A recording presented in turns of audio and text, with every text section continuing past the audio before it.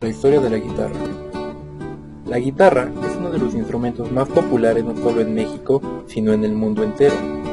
Para hablar del origen de la guitarra, es difícil dar una ubicación exacta en el tiempo o lugar, ya que las primeras demostraciones de un instrumento que empate con el principio de funcionamiento de la guitarra datan del año 1000 a.C.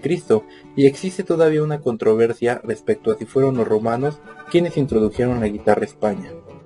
Durante cierto tiempo la guitarra tuvo algunas variantes, pero fue hasta el siglo XI cuando se presentó la primera versión de la guitarra española. Era utilizada para amenizar fiestas populares y solo constaba de cuatro cuerdas. Para el siglo XVI, según algunas historias, se dice que Vicente Espinel logró que se impusiera la idea de incorporar una quinta cuerda a la forma de la guitarra de aquel entonces en la sección de los bajos.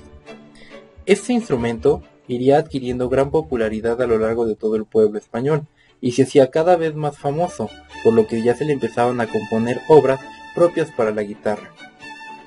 Para el siglo XVIII ya tenía bastante popularidad en toda España, y a inicios de ese siglo se le agrega una nueva cuerda que sería la sexta y adopta, la afinación moderna en base al sistema temperado.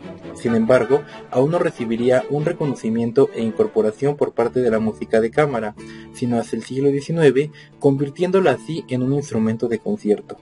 Por lo tanto, aumentaron los compositores para ese instrumento, resaltando algunos como el célebre Fernando So. Ya para el siglo XX, la guitarra se volvería un éxito y poco a poco se iría convirtiendo en un instrumento muy popular, que iría sufriendo múltiples modificaciones a lo largo de su paso por el mundo. Tal es el ejemplo de la guitarra acústica y eléctrica que hacen de la historia de la guitarra abarque múltiples géneros, desde el género clásico e incluso llegando al jazz hasta los géneros que conocemos el día de hoy. Muchas gracias y nos vemos en la próxima sesión.